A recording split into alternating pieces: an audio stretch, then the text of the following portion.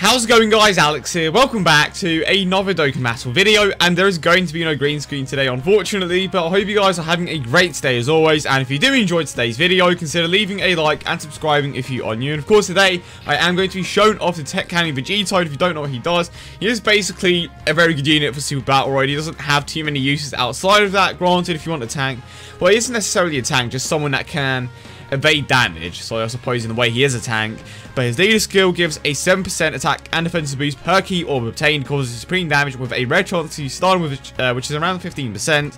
And of course, if you have a look at his passive, when it comes back round, I can go ahead and show you what he actually does. So, high chance to evade enemies' attacks, including super attacks, and he also disables enemies' guard. That isn't like anything crazy like um, effectiveness against all type. That's just simply lowering defense to zero, and of course, he does recover health with the candy orbs. His links are oh, more than meets the eye, shocking speed, over in a flash, power bestow by god, infighter, and supreme power. So basically the link set that the physical Super Vegito should have had, but for some reason didn't. But yeah, let's go ahead and jump straight into the events that we are going to be taking on today. I'm curious to see how much he actually dodges, and of course, is he worth the orbs? Well, no, that's the wrong series. Was he worth the grind? That's the one I'm talking about. Was he worth the grind? We are going to find out. Like, without a doubt, he is definitely going to be a phenomenal unit when it comes to the um uh, let's go here. When it comes to the um uh what, what we're trying to think about the new mode super battle royale that is the mode i was thinking about. And i low-key want to awaken all of my units now just to see how much health this team has. Because my bardock isn't awakened i'm not even using like a proper fourth or sixth unit which of course is candy vegito my gogeta is unawakened you know what i'm, I'm gonna do it. I'm gonna go ahead and awaken a few more units just to see how much health I actually have with this team. Because with my unawakened team, for the most part, I have like just over 300,000 health, which is absolutely insane. And it's only going to be um, getting higher. Especially with the introduction of... I'm trying to think of who. Have they introduced a new tech type lead? I don't think they have. I'm, I'm trying to think off the top of my head.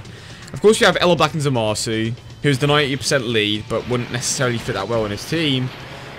Have they released a new tech legendary rare? I don't think they have. Uh, I'm trying to think. I am probably missing someone really obvious. Has there been a tech type 90% lead or a category lead apart from Gogeta? I don't think there has. There hasn't been a villain one for sure. So, we are maybe going to get a tech type 1 next. Vegeta definitely was a bit of a surprise for tech. And, okay, that didn't take him out, which definitely was a bit of a surprise. And we kind of have the best possible setup here, but gonna have to get rid of it to show off the Candy Vegito. And he is stunned, to be fair. He is stunned. So this is actually completely irrelevant. Wow. Um... Well, that kind of sucks because I wanted to get super attacked. But let's have a look at his super attack animation. 150,000, super attack 10, not bad. And I, I, suppose he has a pretty cool super attack animation. 86k though. Yeah, Candy Vegito honestly is going to be the hardest So I've seen a few 100% ones, and I kind of wanted to show one off, but I never got the opportunity to. But I would imagine that at 100%, uh, he maybe hits for around 300k. Maybe that, because obviously with the crits, he is going to be hitting pretty hard, but I don't know. I suppose if I ever manage to find another 100% one, I will go ahead and show him off. But again, his main use isn't to hit hard. His main use is to go ahead and obviously just dodge the majority of the hits that come against you. Which again is going to be super clutch for Super Battle Road and you can farm him on JP, right? I definitely want to try that out. I definitely want to try that out. And if I'm not mistaken, the mode actually comes back tomorrow because of the time zones in Japan, obviously here.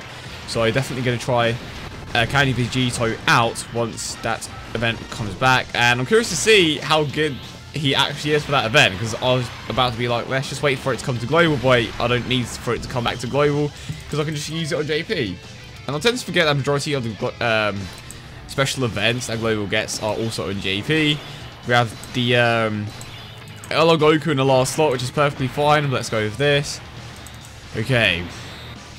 How many hits can we dodge? It is a high chance to evade the attacks as well. Oh, okay. I get super attacks first, or I'm going to super attack first, I should say. Here we go. I actually love that super attack animation. It's pretty cool. Okay, we didn't dodge that one. Can we got... Oh my god. Can we dodge the super attack, please? And there we go. That is why Candy Vegito is legit going to be so damn clutch for this new mode. I'm I'm actually pretty excited to use him now. My tech team isn't by any means the greatest because I don't have the Gotenks at Super Attack 10. I do have the Goku at Super Attack 10. I don't have Go. Well, I do have Gogeta. I lied. I don't have LR Bardock. I don't have LR Go. See what I mean? I'm just like all over the place. I have said LR Bardock so many times now, it's actually ridiculous. Not LR Bardock, LR Goku. I do not have LR Goku. So, I don't have the greatest tech type team by any means. But it will be interesting to see how clutch the, um, you know, Tech Vegito actually comes in. Clutch. Yeah, English. Right, here we go. COS Super Attack. 184k. I definitely need to try him Awakened. So I believe I showcased him uh, when he was fully, like, maxed, pre-awakening, but I need to try him out with his awakening, because I would imagine it's a uh, vast improvement.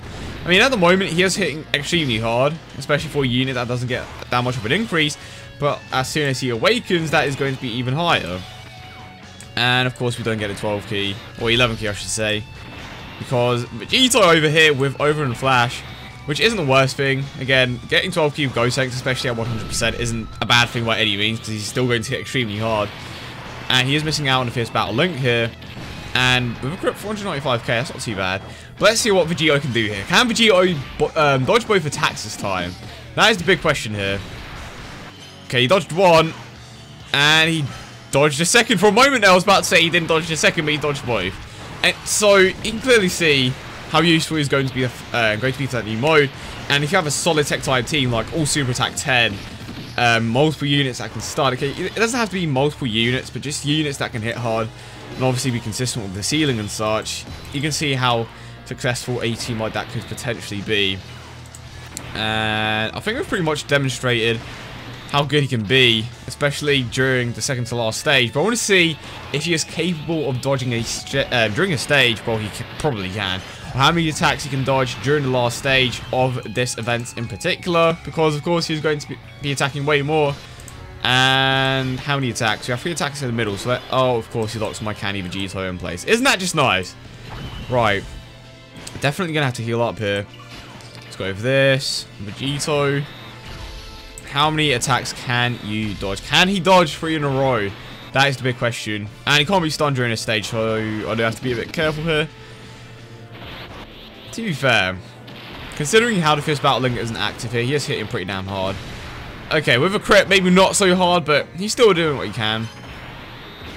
Right, can we get the three in a row? It's a high chance, and he can evade super attacks. Okay, that's one. Okay, that, that one hit, but two out of three. That wasn't too bad. Two out of three. Definitely not bad by any means, especially because he can counter super attack. Okay, not counter, but dodge super attacks. 111k, that is terrible. Oh dear. Well, at least we know that he, um, that he can pretty much dodge every single attack consistently. And, oh, okay, I almost died there. Definitely going to have to be a bit more careful with that. I'm to have to heal up here. And that was actually my last healing item.